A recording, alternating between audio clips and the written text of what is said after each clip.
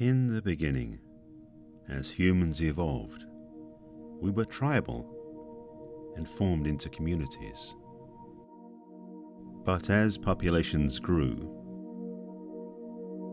greed and fear became the norm, and war and destruction were the price we paid.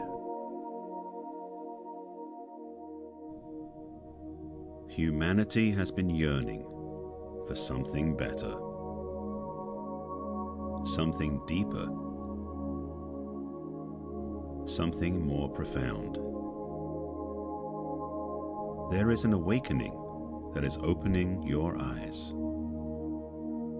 A love revolution has begun. Learn how to love more powerfully. Learn how to grow and heal. Become strong again. The desire for community, for love, and for peace will become the norm. Welcome to Love Revolution. Stories that radically change the ideas of love.